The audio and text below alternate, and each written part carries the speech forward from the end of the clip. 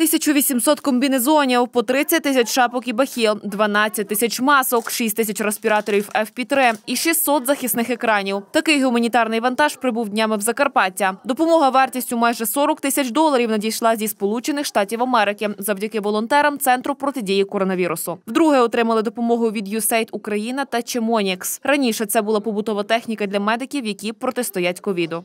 Волонтери Закарпаття об'єдналися, відкрили сторінку противодії коронавіруса Закарпаття. До нас е, підключилися всі волонтери з всіх районів.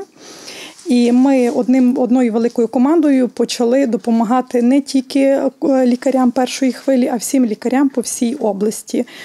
е, Які первинна медицина, швидка допомога, лікарні, районні лікарні, Це не перша допомога, яка стала у пригоді закарпатським лікарям, що борються з коронавірусом за майже рік пандемії. За цей час потребу у засобах індивідуального захисту на понад 20% забезпечено волонтерами. На жаль, і надалі медзаклади краю не можуть обійтися без допомоги благодійників.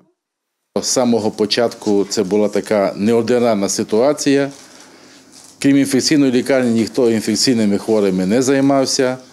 І прийшлося нам реорганізувати роботу, підготувати корпус для ковід-інфікованих і почати займатися е, інфекційною, скажімо, патологією.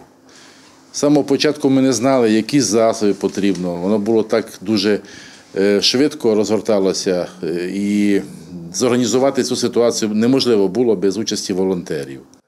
Всю партію засобів індивідуального захисту спочатку вивантажили на склад обласної лікарні імені Новака в Ужгороді. Вже волонтери за допомогою вихованців транзитного будинку обітниця Orphans Promise розподілили благодійну допомогу для 52 з медзакладів Закарпаття, що приймають хворих на COVID-19. Найближчим часом її доправлять всім опорним лікарням краю і передадуть по актам передачі головним лікарям.